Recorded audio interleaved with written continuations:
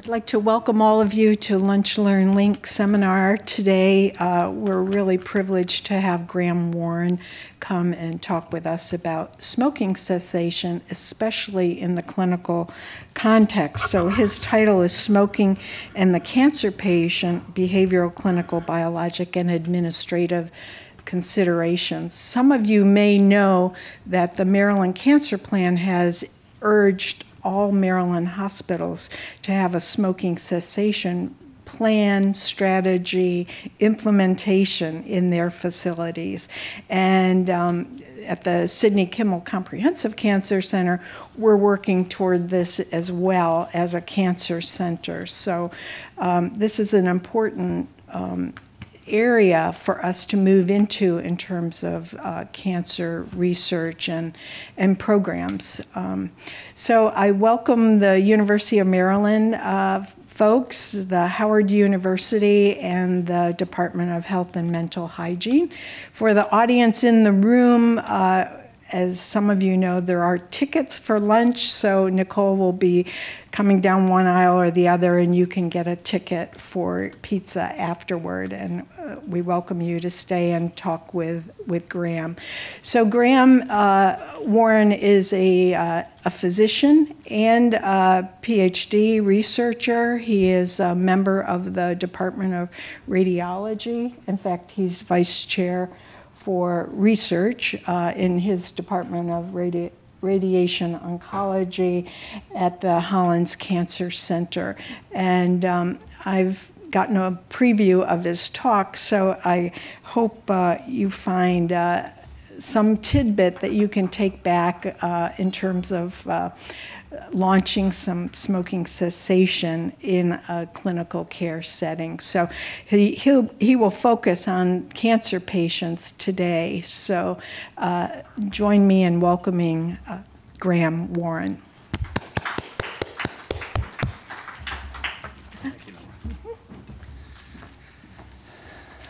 So thank you for having me today. I certainly appreciate the opportunity to come and speak to you today uh, a little bit about a topic. And this will actually be something that spans uh, hopefully a, a, reasonable breadth of considering how tobacco is something to consider in, in cancer patients. Uh, as we get started, uh, I do want to make sure that I disclose I'm not going to be selling anything. Uh, I'm not going to make any money off anything that I tell you. There's not going to be any off-label use or otherwise. I do have some editorial roles and some uh, national participation in different committees. Uh, I, I, don't represent uh, those committees or the national organizations, but I anticipate a lot of the things that I say are going to be in harmony with the things that, that you'll hear from these national organizations as well. So I don't think I'm going to say anything particularly funny. I'm not going to make any money off it either. So hopefully it'll be a good discussion today. Um, we started thinking about cigarette smoke, uh, we, we know that cigarette smoke is uh, the largest preventable risk factor for the development of cancer. This has been well established. Uh, this is something that uh, has been analyzed over and over again through Surgeon General's reports and other uh, consensus statements. Uh, but what's not really necessarily known is that in addition to the number of chemicals that are, that are in cigarette smoke, there's a lot of additives. And these additives are used to try and increase flavor, absorption, and addiction and I got this off a website about 10 years ago. Uh, there's a lot of things that are added to cigarettes, and this is kind of an alphabetical list. A lot of strange things that are added. See things like acetic acid, ammonia, apple juice concentrate. And if you wanted to try and take a look at the whole list of 600 additives that's added to tobacco, uh, this is a list. I always get a kick out of this because when you start thinking about lighting this stuff on fire and inhaling it, it's not rocket surgery to figure out that it's probably going to be bad for you. And so, uh, you know, tobacco is one of these things that, that we've done a great job leading up to development of cancer. One of the issues is, and, and actually here, you all are experts in this area. Um, I mean, I think that the, the School of Public Health, Bloomberg School of Public Health is one of the world leaders. So I'm probably talking far beneath your all understanding. But in reality, when you start thinking about tobacco use, it's always important to remember that there are regional and geographic differences and a lot of cultural influences that could could affect tobacco use consumptions. This actually replaced an old slide that I had, but this is from the BRFS survey from 2012, taking a look at current smokers every day and some days between males and females. And you can see, you know, pretty significant differences based just on gender and geographic diversity. I'm, uh, I'm, I'm at the Medical University of South Carolina, but I actually spent most of my life growing up here in Kentucky, this brown state down here in the southeast. Now, this is from a little while back, and I will joke, please recognize that this is a joke. This is actually lung cancer death rates. You can see the ge geographic distribution. Uh, I always joke that this white county in Kentucky is not because nobody smoked there, it's because maybe nobody went there to ask a question. Um, it's, it's not necessarily inaccurate to say that that the best quality that we have also depends on the ability to get the data accurately from different uh, distributions. But it really is a big geographic influence with regards to smoking rates leading to lung cancer. I don't think I'll ever get rid of this slide altogether. I just like the way that it's really organized. And you might ask yourself, why is this so? Well, if your mother smokes, your father smokes, your brother and sister smoke, you're going to smoke. Uh, just for disclosure, this is one of my kids. I've got five kids. This is one of them. Uh, we actually stenciled in this stogie several years ago. You can see that the, the art is probably good, but could be better. The mom tattoo, though, has been there, and he loves his little dinosaur tie. Point of the matter being is that these habits start very early. And right now, my personal bests are uh, I used to be that I had a, uh, the, the patients that started smoking when they were seven years old. I had a few patients the past several years that told me they started took a puff or two when they were four. The ones that were seven, what happened was their mother or father, but usually mother was taking them to school and gave them a cigarette to get it warmed up on the way to school. The most I've encountered so far in clinic is a 267 pack year history. 267 pack years. It's living in a cloud for 55 years. I mean, it's an incredible potential to, you know, use this product for such a long time, and starting in youth can lead to an imprinting pattern that's extremely hard to break. So I'm really excited about what we did in 2014 because uh, this was really the first Surgeon General's report that not only looked at the effects of tobacco on cancer risk and things, but really provided a very good analysis of the effects of tobacco on cancer treatment outcomes. Specifically, it looked at about 400 different studies reporting on over 500,000 patients looking at the effects of smoking on overall mortality, cancer-related mortality, risk of second primary, and so forth. Um, I was a contributor to this section. Uh, I will say that if you're ever asked by the Surgeon General's report to do some work, you will work for about 18 cents an hour. Uh, it will not be something that you'll make money on. But I will tell you this, the nice thing that came out of it was that we looked at an extensive amount of literature. It's about 1,800 man hours of work to put this together. And this went through 15 different levels of review. By the way, I, I, might be wrong on actually how many levels of review, but a lot of levels of review. And the conclusions we didn't have until it came out the day of, of the release. And you can see that through all the reviews, in cancer patients and survivors, uh, smoking by cancer patients and survivors caused adverse outcomes. It increased overall mortality, this is across disease sites and treatments. It increased cancer specific mortality, which means you die of cancer increased risk for second primary cancer, and there was a very strong association with cancer related toxicity, cancer treatment related toxicity. And when you think about cancer treatment toxicity, I don't know how many people in the room are physicians. How many people are physicians, just out of curiosity? So, cancer docs, primary care? Any cancer docs? So, when you think about it from a public health standpoint, I want you to remember that when you try and standardize something across cancer treatment as a whole, you remember you got head and neck, lung, breast, prostate, colon, rectal, anal, anal pancreatic, uh, CNS disease. You got cancer across all these disease sites. You have surgery, radiation, chemotherapy, biologic therapy, combinations. You have neutropenia, all these different side effects. So what I'm getting at is that it's such a heterogeneous, heterogeneous population and outcome set that it's hard to really draw causation. But when you look at the magnitude with regards to overall mortality, there's about a 51% increased risk of overall mortality in people who are current smokers. Cancer related mortality, 61% increased risk. This is across all studies, positive and negative, median risks. If you try to take a look at it according to the disease site, these here in red bars are studies that show one or more significant negative associations between tobacco use and outcome. This isn't a head, and neck, or a lung cancer problem. This is a cancer problem. Here it just gives you an idea across hematologic, breast, guy, and so forth. You can see the magnitude of studies that actually show one or more negative outcomes. There's good and bad about this. The bad about this is it affects a lot of cancer. The good thing about this is that this can also be somewhat of a unifying topic. You don't have to look at cancer patients that have head and neck cancer with smoking differently necessarily than breast versus prostate versus chemo or surgery. This is something that you can look at kind of from cancer treatment on a larger scale. So you can really kind of address this in a systematic manner and maybe benefit cancer patients as a whole. I always use prostate cancer as an example, breast and prostate cancer. Uh, maybe I'll go back one. Does anyone want to tell me what most prostate cancer patients die from? Not too many. Anyone? Not prostate cancer. This is actually a nice little estimate. Uh, this was from 2008 study by Bittner. It actually took a look at causes of death in prostate cancer patients. Less than 10% died of prostate cancer themselves. Most of them died from something different. And look at the hazard ratios associated with current smoking. We put a ton of effort into surgery, radiation, uh, androgen deprivation therapy, treatment of prostate cancer. But for dominant causes of death, smoking is certainly something that's very important that we need to consider in prostate cancer. Breast cancer, the same thing. Uh, breast cancer, about 85% of patients will survive breast cancer.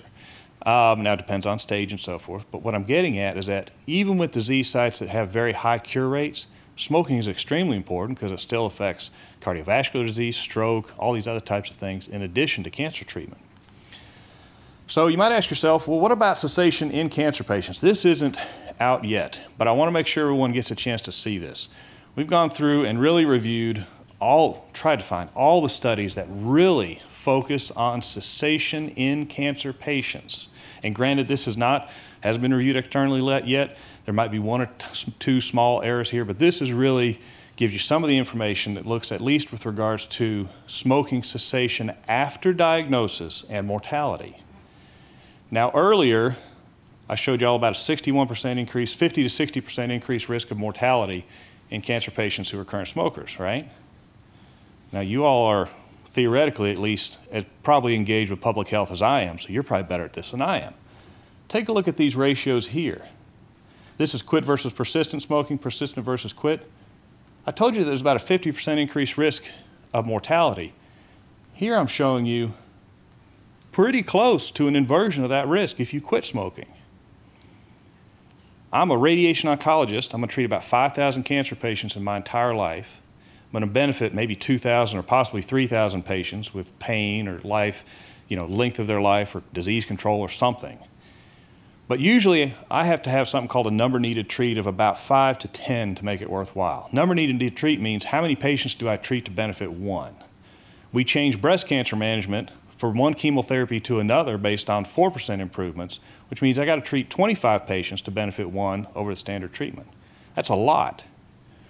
If I have a 50% increased risk of mortality, and here I show you that I'm fairly well inverting it, does anyone want to tell me what direction that points us? What's my number needed to treat? This suggests the number needed to treat may be one or two. One or two. That means if you have a couple of patients who smoke at the time of diagnosis and you don't get them to quit, you need to ask yourself, have I increased their chance of overall mortality? That's profound. Now, granted, we got a lot of studies that show the effects of smoking in cancer patients, not as many showing cessation, but the signal right now is significant. Unfortunately, right now, we looked at this several years ago, uh, looking at tobacco use in clinical, cooperative group clinical trials. About 71% did not assess tobacco use whatsoever in clinical trials design. Uh, that means our primary outcomes, overall survival, recurrence, toxicity, primary and secondary outcomes of all clinical trials designed, 71% of those trials are not assessing tobacco use, even though tobacco can affect that. However, we went back and said, what if we ask oncologists about what they do? And we sent out several surveys. One was with IASLC, one was with ASCO, and then this is unpublished right now. We've had a couple abstracts about this. Long and short of it is that about 90% of oncologists asked about tobacco use, which is really good. About 80% advised patients to quit. Only about 30 or 40% tried to help people quit smoking. And if you go in the literature and you start digging into patient reported patterns, you actually see that this 20 this drops down to around 20% that actually receive cessation support in cancer care. So then we went back and said, we asked all these different questions. Now, I, I granted, I, I've done a million of these talks. I realize this text is too small. There's one point. A bunch, among a whole bunch of different possible reasons why you don't provide cessation support or why you don't ask or otherwise.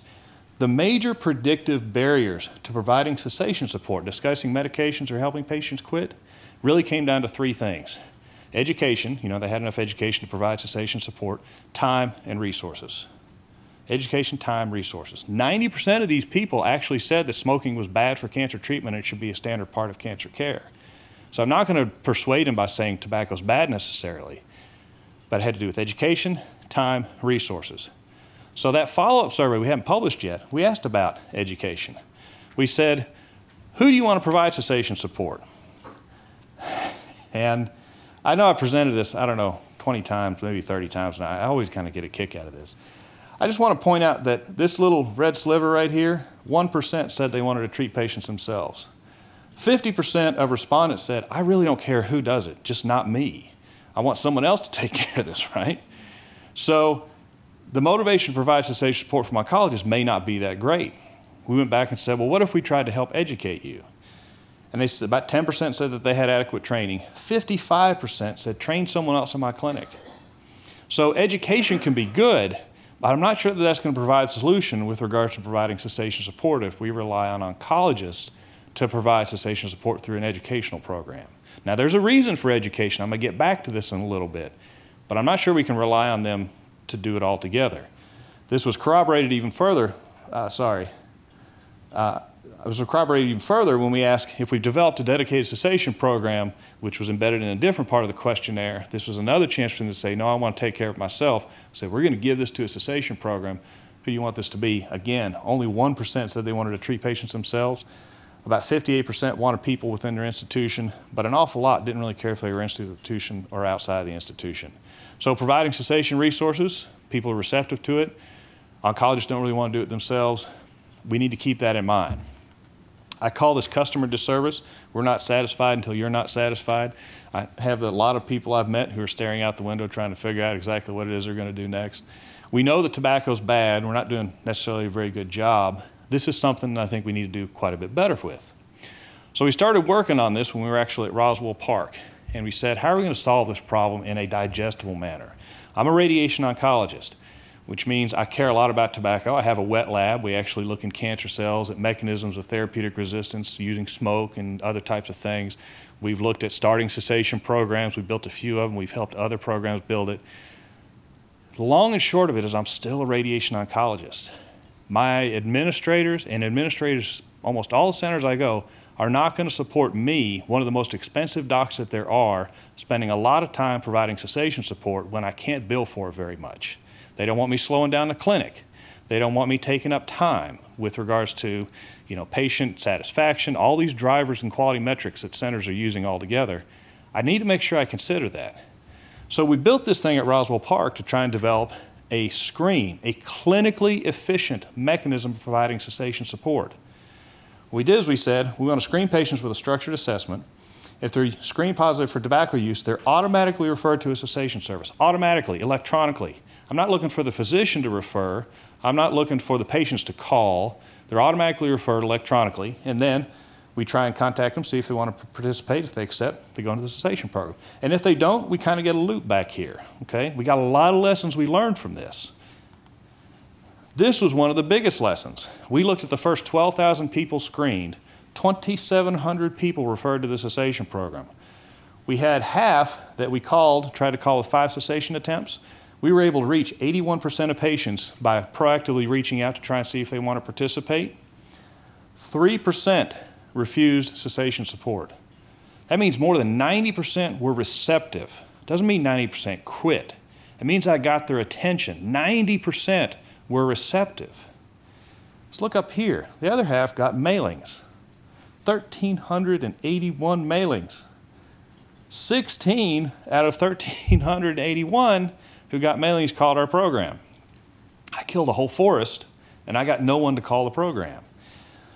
In this case, this really challenges the utility of relying on mailings to try and contact cessation, uh, patients for cessation. But this proactive outreach seemed to be very useful, clinically efficient, didn't slow my clinic down. I could put that anywhere. So the next question would be, well, if we got so many people in, was this clinically efficient? So we looked at this. When we built this thing at, Roswell, we literally had 25 people in the room that I called together to say we need to address tobacco use. We had nurses, tobacco specialists, IT specialists, administrators, clinicians. How do we want to build this thing? we literally had 37 questions that we thought were important on the first one. I didn't think we'd get 37 questions through. I said, guys, it's never going to work. I said, no, we need to try and do this. So, okay, we'll try it. Within two weeks, we were just about shut down by nursing because 37 questions in clinic is not going to work. What we did find out was that of all the questions we could ask about tobacco use to identify people who needed cessation support, this isn't like ever tobacco use and pack years. I need to find out who's using tobacco and if they're using, I need to get them to cessation, right? Three questions identified almost 99% of patients. And, and there's a little variant on this, but how long has it been since you smoked tobacco? Or excuse me, um, how long as you um, smoked a cigarette, even a single puff? This really increased it. We captured all of these and this one. If you had one question to put in, that type of a question is extremely high yield. Anyone in the past 30 days, you can refer to a cessation program. But now, rather than having 37 questions, if I want to get people in a cessation program, I can do it with very few questions.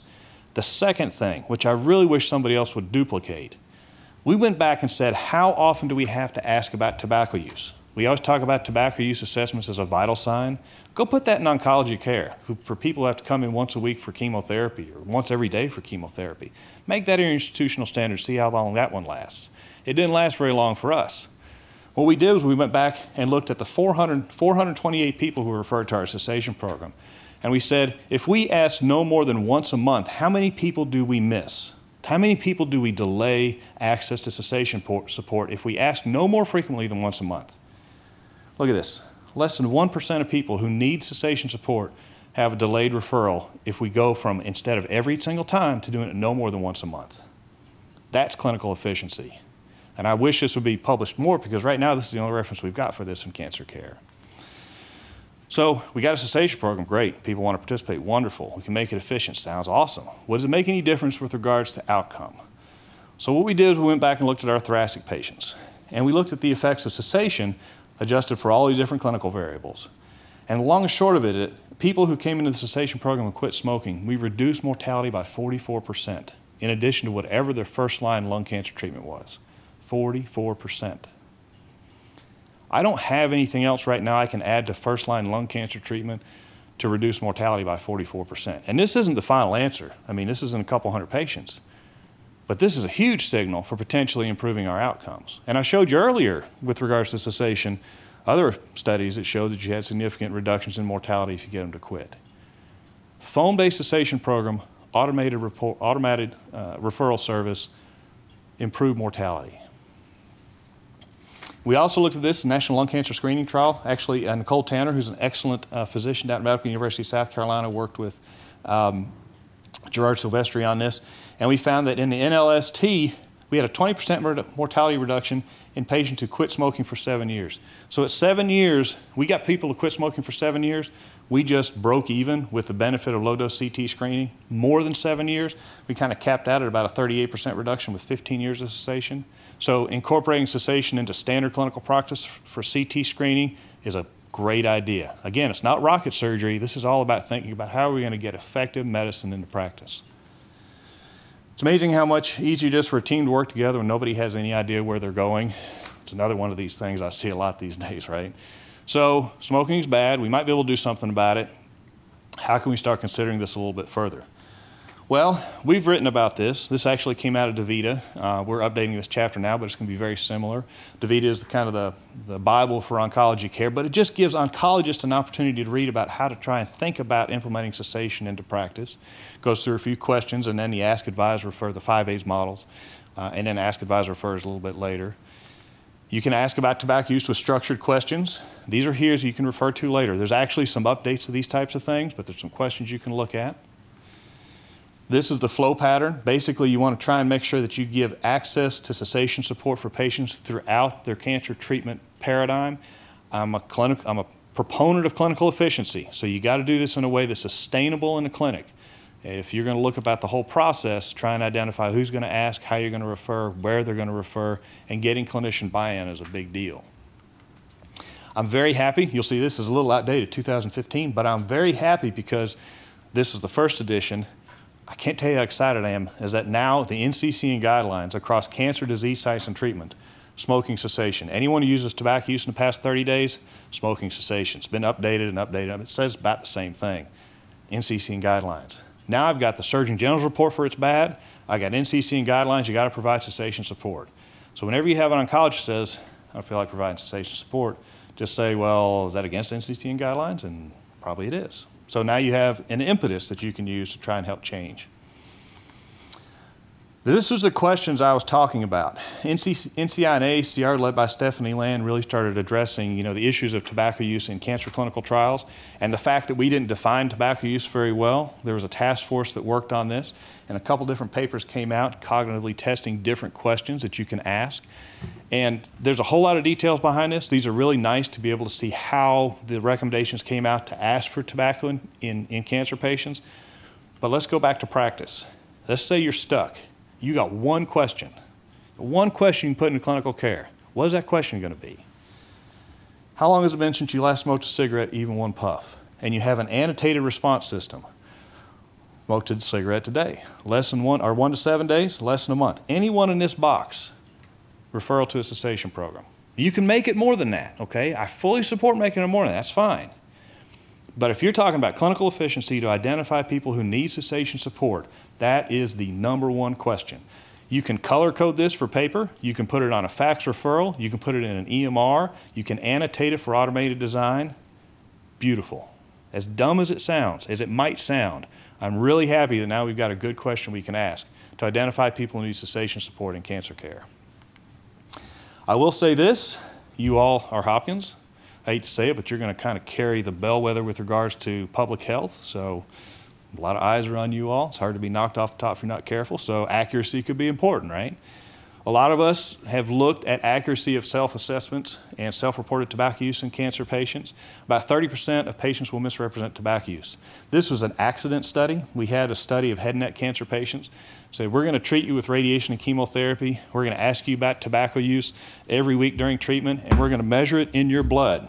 Do you want to participate or not? We're going to pay you anything. You want to participate or not? And they said, yes. So we went back and looked. We've got this group of people here that will misrepresent tobacco use week after week after week after week. So, what I'm getting at is that if you really want to have a good structured assessment, you want to do research or other types of things, biochemical validation can be a big assist. I'm happy to talk about it further. Just realize that self report has some limits. You got to think about clinical efficiency, but also if you're going to use it for research purposes and outcomes, make sure you consider things like biochemical confirmation. Incompetence, when you earnestly believe you can compensate for a lack of skill by doubling your efforts, there's no amount, no end to what you can't do. I got five kids. I don't know how many pieces of wood I've got that look like that, but I got a lot of them. In this case, if we want to try and make cessation more effective, one thing that we know makes a big difference leading up to cancer is the biology. We haven't done a very good job afterwards. And we know this because a few years ago, we actually reviewed studies that took a look at the effects of smoking in cancer cells, cigarette smoke on cancer cells. 2014. There are, I don't know how many thousand studies on smoking leading to cancer in all kinds of cells. We found 34 studies looking at the effects of cigarette smoke in cancer cells. 34 studies. 2014, 34 studies. So here we've got some pathways that are certainly not complete. What we did is we went back and said, well, let's start developing some models here. We've been working on this a lot. And I'm not going to go into a ton of biology. I got to focus here, okay? Long and short of it is we developed a chronic cigarette smoke exposure model to try and figure out if we could mimic what we saw in the clinic. Can we develop a model that cigarette smoke decreases the effectiveness of radiation or chemotherapy? And, and those types of things are in here. If you want to, I'm happy to talk about the biology. But the point of this slide is one thing. When we start talking about the effects of cigarette smoke on cancer cells, Focus right here. Dang it. Focus right here. I got bigger fingers than this clicker. Focus right here. These are plates from a colony survival assay. Has anyone heard of a colony survival assay? Yeah, okay. So long and short of it is that you got cells that grow on a plate. You let them grow for a while, you wash it off, then you stain them purple. Purple cells are cells that are living. Purple colonies are cells that live through whatever it is that you did. These are colon cancer cells we treat with radiation alone. Not that many cells there. I mean, almost none, right? This is the same thing with cigarette smoke. Does anyone not understand this? Are you leaving this much behind if you let people continue to smoke during cancer treatment? These are the types of questions we haven't answered well. Why haven't we got the handle on this biologically? It's 2017. Why haven't we figured this out yet? And if it is resistant to cancer treatment, can we use that to make cancer treatments much more effective? Well, we started messing with that. This is actually nicotine, but our, the whole purpose behind this was that we started taking a look at the nicotinic receptor and stimulation of the nicotinic receptor. Again, we don't have to focus on a lot of the biology today, but what I do want to emphasize is specifically what we did during radiation right here or chemoradiation exposure during this time significantly changed tumor growth. And then how many people here are pathologists? I guess I shouldn't comment one way or the other. We've got people I'm not here, right? I didn't choose pathology, which I'm happy with. However, I want to see if you can tell. These are lung cancer tumors, xenografts we call them. And what we did is we treated them with nicotine for a while. And I'm not trying to say don't use nicotine. This was just along one receptor. But I want you to look at this. Treated nicotine for about a week, and then we took it away for a couple days. And this is what it looked like. You're looking for black cells, brown cells, nuclei is what you're looking for. This is if you didn't take it away. Can anyone see a difference between the two? Can anyone not see a difference between the two? This was two or three days of removal. At the time, there were a few studies that were looking at HIF1 alpha for clinical trials designs a few years ago. It had nothing to do with smoking, nothing to do with activation nicotinic receptor, but smoking by itself. If we can change some biologic parameters within a few days by just changing exposure to nicotinic receptor agonists, for instance, wouldn't it be important to try and change the dynamic features of cigarette smoke in the context of cytotoxic cancer treatment? I know it sounds dumb that we're talking about this now, but these are the types of things we need to do a lot better job of. Then we went back. Now, this is unfortunate. I have to give a disclaimer. So, some of this is going through some proprietary stuff, but I want you to see something. So there's going to be protein X and SNP Y and 1 and 2. We thought everything kind of behaved the same way with cigarette smoke, but I think we're wrong. We found a germline polymorphism. We're going to call it SNP1 and SNP2. That when you exposed cells to cigarette smoke, you had a significant increase in a protein, and you can measure this in patient samples here. The reason this is important is because when I treat, this is a control cell, so this is survival fraction. When it goes up, cells are resistant. When I treat in two different cell lines, two different SNPs, here I get resistance, here I get resistance, here I get resistance. However, with the SNPs, the opposite. I give a targeted therapy, look what happens. Boom, back to normal, boom, back to normal, boom, back to normal. Is it possible that we might have a germline polymorphism? This is one, probably more than this. That could lead to activation of a targeted pathway that we can inhibit. And now we have people who smoke at the time of diagnosis, and maybe we can do a targeted therapeutic to help their, their outcomes get better. If that's possible, have you ever heard anyone talk about that before? So far, I haven't had anyone in the crowd, other than someone who'd already heard me talk before already, bring it up. And if we haven't brought it up, why haven't we brought it up? These are the types of questions we need to ask. Anyone heard of PDL1? Actually, has anyone's kids not heard of PDL1? PDL1 is immunotherapy, right? Immunotherapy, everything. Immunotherapy somehow is probably in this bottle of water, right? Immunotherapy. I, I don't have a reason for this. This was because we had a meeting last year and somebody was arguing that with immunotherapy, we should encourage people to keep smoking. And I said, I don't think that sounds like a good idea. So we just played around in the lab ourselves. But we changed this protein we think is important, which is not related to this at all. At least nobody's ever tied these proteins together. What we did is we took this and turned these SNPs around. Take a look at what happens with baseline PD-L1 expression. And we used EGF as kind of a broad mitogenic stimulus. Our stimulus patterns didn't change. Look at this PD-L1 difference. So if this pathway that leads to some targeted therapeutics and benefits with smoking and these types of things, what if it does have differences like this with regards to PD-L1 expression? Seems like we could ask this well enough in the context of cigarette smoking. It's not that hard. Do your PD-L1, do your immunotherapy, do your targeted therapeutic, but ask about tobacco use. You know what? Just give me a little bit of urine or blood or saliva or something. Something I can measure it. So this changes in where you have a current smoker, hypothetically. you get immediate structure cessation support, and then you might be able to make decisions based on biomarkers. And in this case, we don't have to go into any more biology right now, but I just want to leave it out there for something to think about that maybe you haven't encountered before. I refinanced our house a few years ago and I got put on one of these lists. I'm doctor, I can't pronounce it with the union of who cares where, and I want to give you $39 million. Give me your bank account, right? Sounds like a good idea, but maybe it doesn't work out exactly the way you plan unless you, I guess it could work out, but most of the time it doesn't work out the way you plan. We got this information. How do we try and do something about it? I'm proposing to try and help clear up the thought process this is not reference, this is just an idea. And it may not be a good idea. If I do this enough and people say it's a great idea, I'll do something about it. If I say it's a bad idea, I won't. Well, we got stage one through four cancer. Well, I propose perhaps staging tobacco use in cancer patients. Stage one is clear evidence that smoking has an adverse effect. Done. Boom. Surgeon General's report. Finished. We can keep publishing on this, but it's there. We know it's bad. Evidence to know whether or not cessation could benefit. We actually have some there. We could probably do more. We really could do more, but we actually have some pretty good evidence there. We are at stage three. How do we implement change?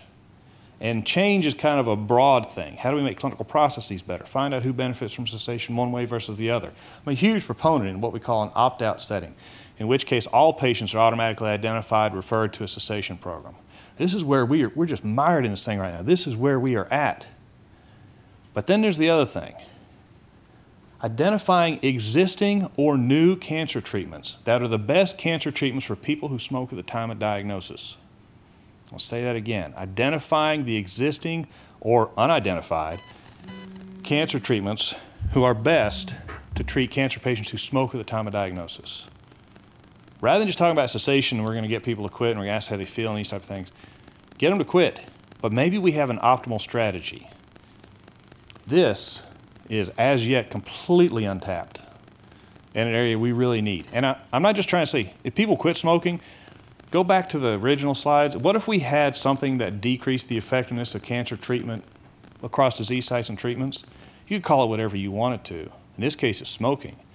But don't you want to understand that mechanism? If you could understand that mechanism, could you make your cancer treatments, maybe in people who don't smoke, a lot better? I anticipate you probably can, right?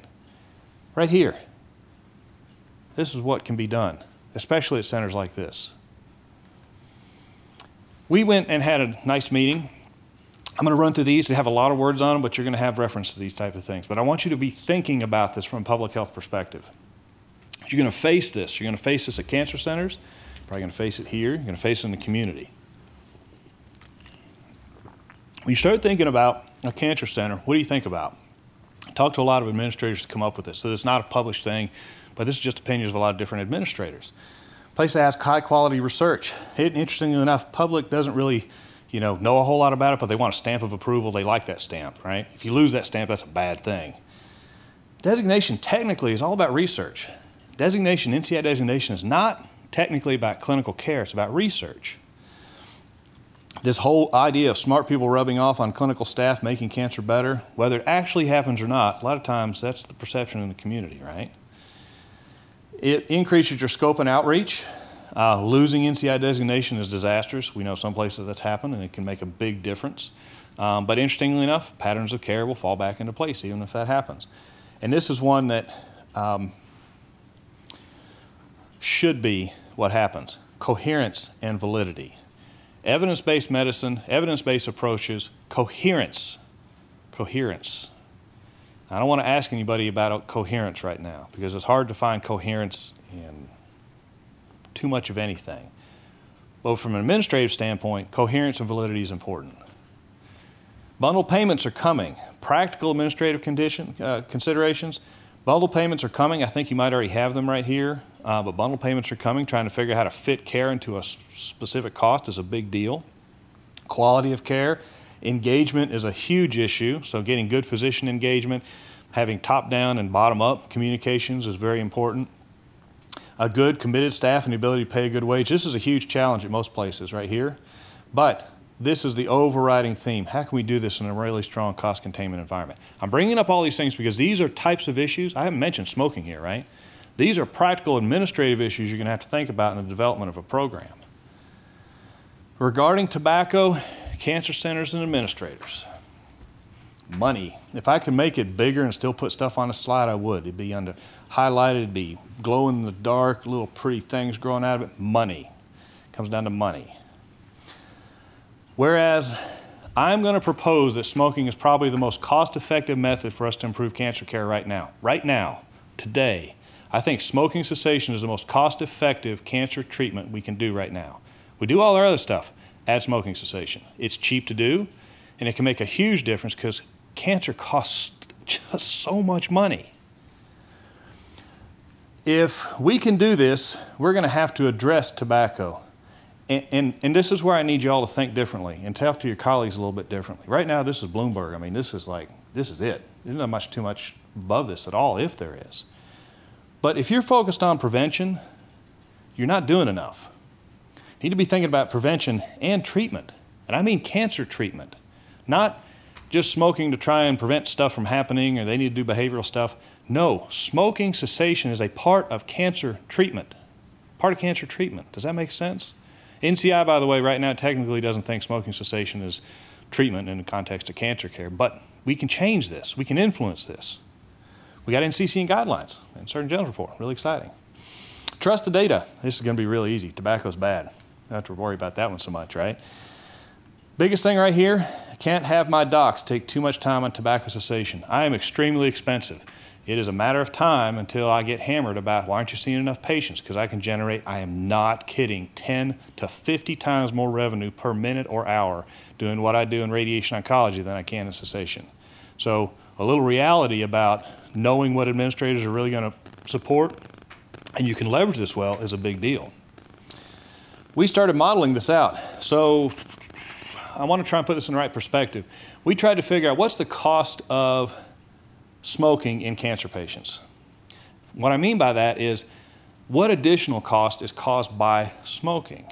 Now, we haven't published this yet. We're getting pretty close to getting this thing out, but I want to make sure you all get a chance to see it and think about it. So this model might change a little bit, but this, we're, we're pretty much there.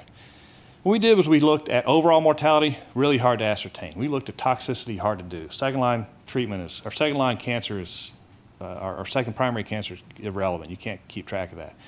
But you can, we have a really good risk, 61% increased risk of cancer related mortality.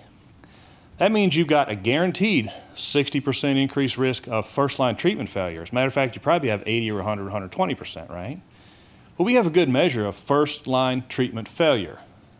So we said, let's just focus on cancer treatment, failure of first line treatment, and what happens after that, second, third, fourth line, right? So what we did was we went back and said a whole different series of iterations for this size cancer center, these types of patients with low baseline failure rates, high baseline failure rates, you know, higher and lower prevalence of smoking. We have all these things together.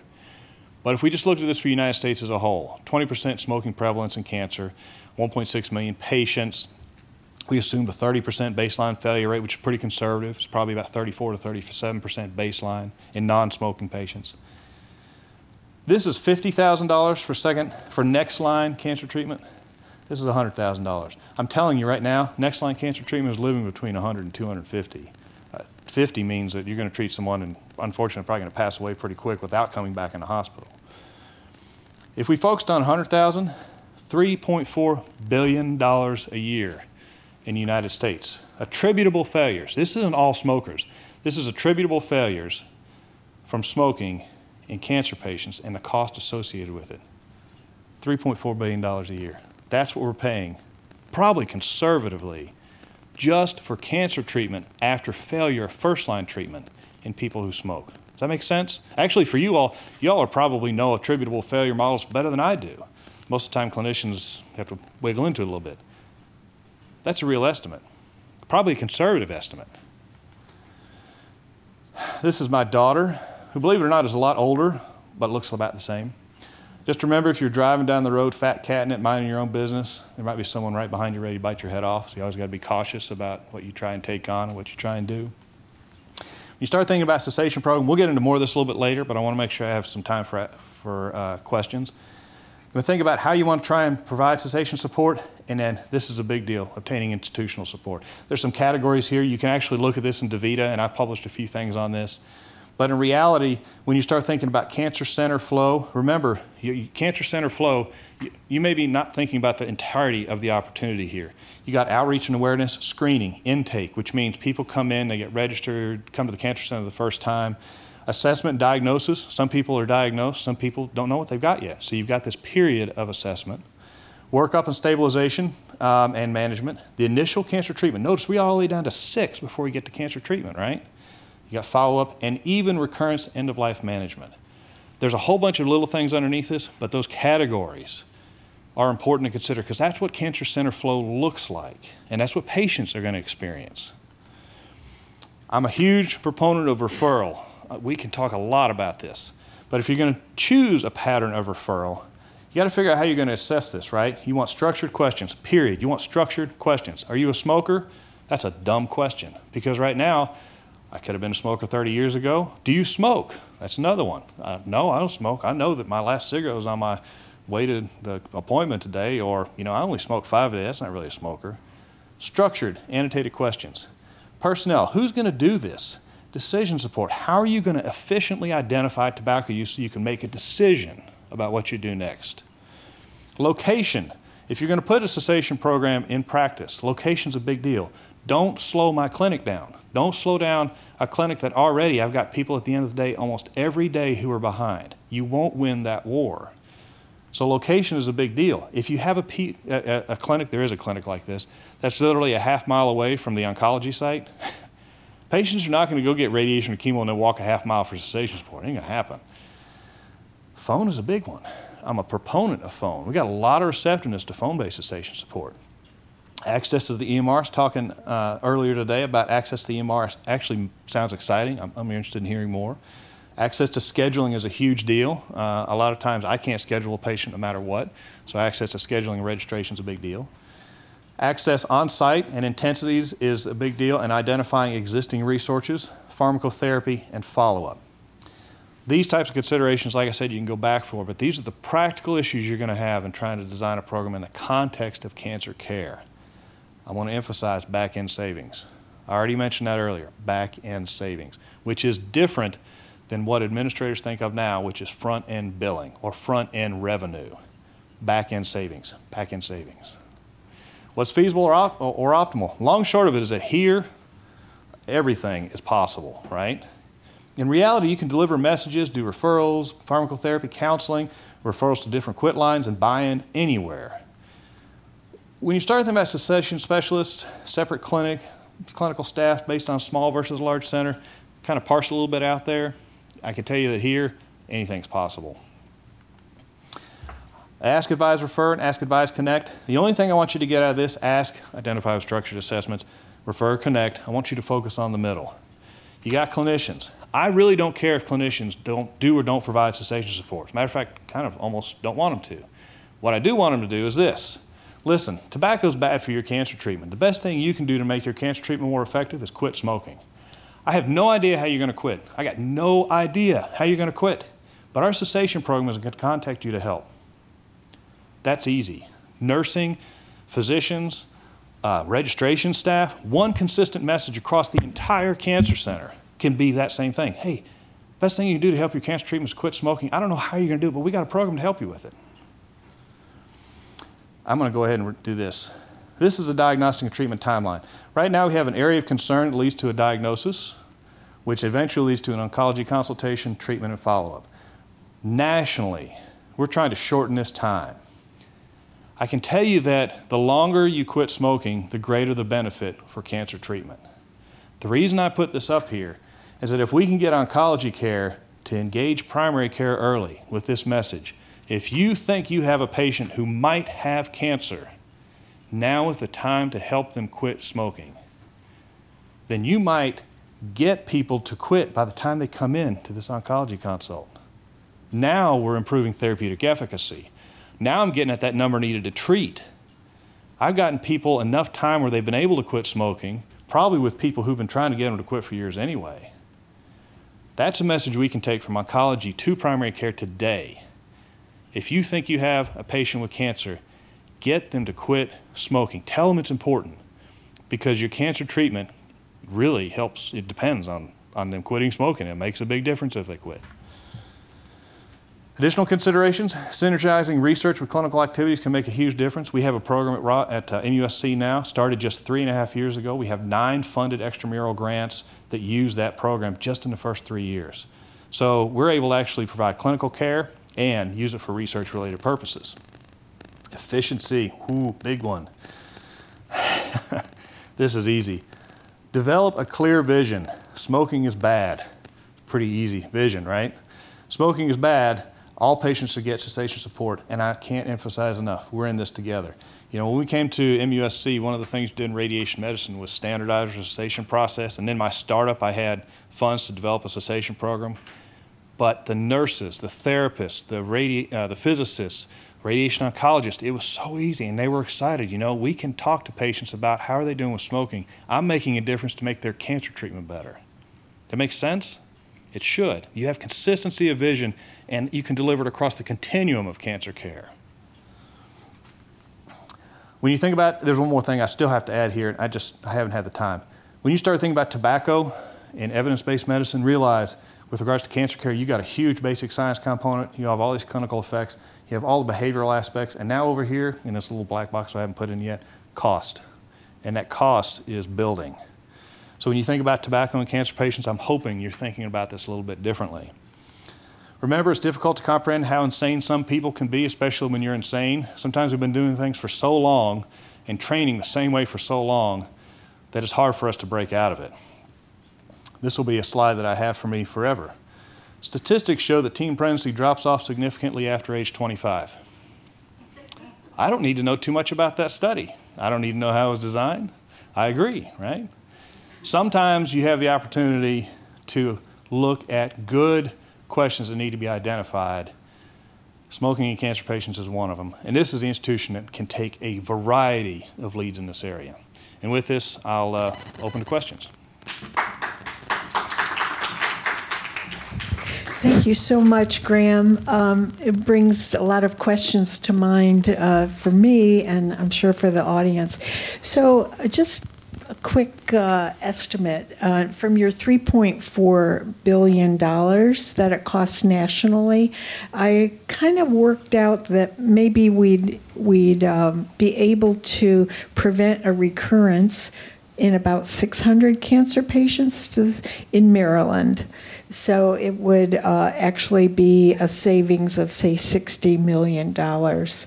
Um, is that a is that a calculation that you think is legitimate from your data? I don't know the numbers actually in Maryland. I ran them. I, have been usually. I yeah, you've presented the nation. Some other countries uh-huh. and territories and stuff. I could do it there. I would say that's probably uh, reasonable, and it might not sound like a huge difference, but uh, 600 patients and 60 million dollars. I'm telling you, the cost of cancer treatment is a huge deal. So I, that could be reasonable yeah. here. I don't have the intake data well enough, but that's yeah. probably reasonable. Yeah. Yeah. And, and I don't know uh, if that's here at the Cancer Center by itself or for all of Maryland. For all of Maryland. So it's about 5% of all the cancer patients. Yeah. Uh, do we have questions from the audience?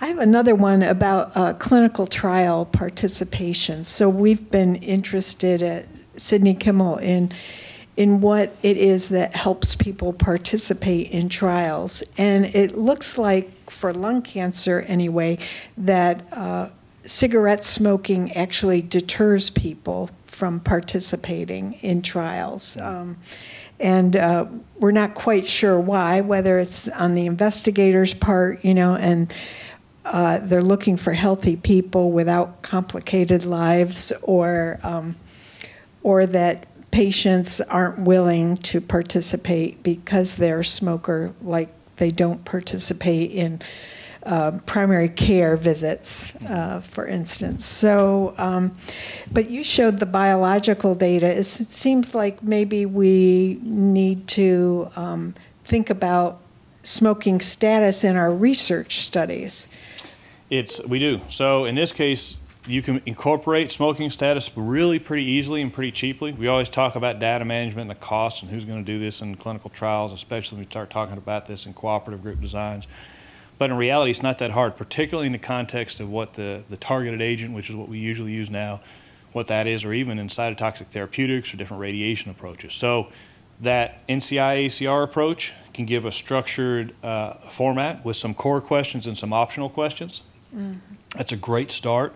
And then if you can use biochemical confirmation, primarily really in people who, you know, are either high risk for smoking because they just quit or they've been reported current smoking time of diagnosis. So you don't have to have it. You got 100 patients that come in, 20 of them smoke. You really need it maybe in those 20. You don't need it in the whole 100 necessarily. So you can optimize strategies to try and do the biochemical confirmation, uh, which can help assist with this as well. But I will say this, real time is important. Doing smoking status with a blood specimen two years earlier and correlating it to cancer treatment two years later, that's not going to get me enough. I need to know what's happening in proximity to the cancer treatment, and that's important to consider. Yeah. We're past, In in public health, we're always so oriented to um, prevention. Um, I- I So, would- so your focus on cancer patients is a, is a new one for us. I will say this, I am, I would be so happy if I never heard ever smoking in a trial again, ever. That would be great. If we could just get past ever smoking and we could just really get current, former as a start. Uh, Ever doesn't do me a whole lot of good anymore. Um, here at Hopkins, we've talked a lot about engaging palliative care from the time of cancer diagnosis instead of waiting until much later. Um, I don't. I guess I'm curious as to whether if there's any similar movement um, where you are, if you see those providers as another aspect um, of care that should be engaged in supporting cessation, or if that's sort of not relevant um, if you're used to kind of engaging palliative care later on. So the, that's a very loaded question, and I want to make sure I answer it in the right way. The, I've seen palliative care who really knows what the treatment plan is for cancer or stroke or cardiovascular disease or whatever. But I've also seen palliative care where they really don't know what the disease management or expectations are, where it hasn't really been communicated very well. I think smoking in the context of palliative care with either an early referral or later is a great idea. But I think a lot of places really haven't integrated palliative care well into their management model.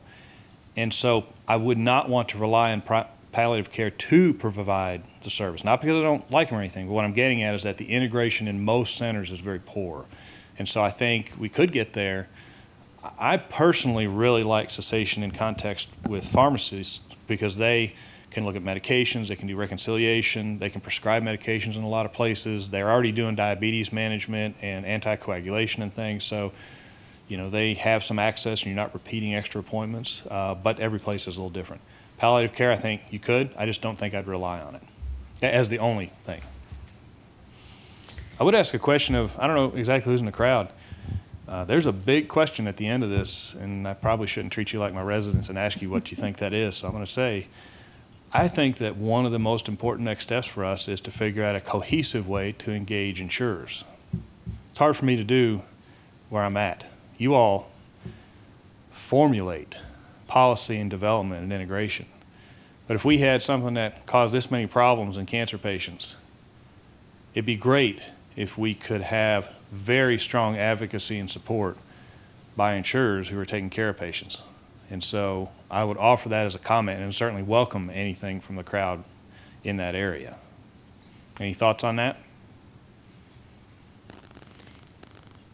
I would, I would think that a health system uh, approach might yield some nice results in terms of, you know, policies within the health system and uh, in- actually incorporating a large number of the population, both before cancer and after cancer. I wanted to ask one more question, though. This is um, maybe a Jim Zabora question. So, there he is, um, about uh, families who smoke. Uh, do, have you looked at the role of families in the smoking cessation success? Um, you know, for cancer patients, so everybody gathers around the patient, and and it's likely a number of the families members smoke. And um, is there a benefit at all that you know of of helping the family quit smoking to in order to help the cancer patient?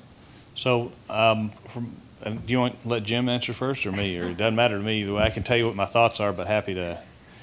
You know, in this case, we, at least with regards to cancer care, my primary focus is the cancer patients. There are other people actually looking at this, and I don't know exactly what their data are. So this would not be my area of expertise as the extension of family, but I can tell you that as a part of our process, we offer access to try and help people quit smoking. However, and this is another constraint, we uh, cannot provide care through our medical service to family members unless they are registered and enrolled through the EMR under care for MUSC. So in that situation, I can cajole our cessation specialists to, when a person comes in or family members with them, talk about it. But then, if they're not willing to come in as a patient to our center, which is a huge limitation, I'm a doctor that has to follow what the EMR tells me to do. That's where we're at now, just in case you were wondering. Because of that limitation, I have to refer a lot to the EMR. And so, excuse me, to uh, Quitline, sorry. Uh, a lot of people have to refer, family members have to refer to the Quitline. So I think there's a position for it. I think people are actively looking at this. Um, I'm not one of them that's an expert in this area. There's some people who are doing a good job with this. I think it is necessary uh, and certainly open to comments. Yeah, just what I would add is family, from our perspective, is absolutely critical. Uh, we're just completing a household smoking cessation study where we've recruited households multiple smokers, because our feeling is that uh, you know most of the guidelines, as you know them very well, identify high-risk populations: a cancer patient who smokes, and a, an adolescent, a, a woman who's pregnant, and so on. And we tend to focus on individuals rather than the household so that if we get that individual to stop smoking, then they return to the household where there might be one or more smokers, and the chances of relapse are extremely high. And if not, they're still exposed to the environmental tobacco smoke you know, second and third hand. So we're just kind of winding that study down, and we've had very good success. Although what we have found, and we're doing this in a community uh, in a very high risk area, uh, primarily minority population, and we've gotten very good adherence and so on. So we're anxious to see, and we're, we are doing cotinine measurements, and then working with environmental health to put in air nicotine monitors into the homes, and we've gotten very good adherence with that too to show kind of a physiological as well as an environmental outcome. So that's coming. We're just about winding down, but I don't know any way else to do it without getting all the smokers involved in one way or another. Yeah, I, I, agree the importance. I, I, definitely agree with that. Uh, a lot of studies I think have shown that. I would add one thing, and maybe it's a question I'll ask back. You know, this we haven't written this up, but we did phone-based cessation support, and then we have in person, more intensive. We're having some, we're having resistance coming back in person. Cancer patients are just, you know, even when they come in, they're just worn out, um, and they don't necessarily want to come, but they're still very receptive to phone. And so I think a good hybrid model would be an excellent series of advances. Right. Are you seeing some, and family well, we're, we're using the NCCN guidelines, so we're doing three educational sessions, 45 minutes apiece. So people do come in, but we make them uh, incredibly accessible. So, for example, we'll go into a senior citizen high rise, recruit three to five households, and we'll actually conduct the classes there. I see. Because uh, we have that mobility, and then we and we provide nicotine replacement therapy, and we're doing supportive counseling afterwards by way of cell phone. So you're going to the patient much more than them coming to you. Have to, uh, yeah, have yeah, to, yeah. just because of the, the accessibility. It's just it's the largest factor. And then we have another study we've designed where we're talking to smokefree.gov to add, since we've had good success with use of cell phones, is to uh, to begin to integrate their apps so we can see exactly how much a person in the community is willing to use that app and is that of any additional benefit. Well, this has a, been a great discussion and presentation. Thanks so much, Graham. I welcome all of you to have some pizza with us out in the gallery. Uh, to be eligible for the pizza, stop by with Nicole, get your ticket, and um, thanks so much again. And let's give uh, Warren a hand.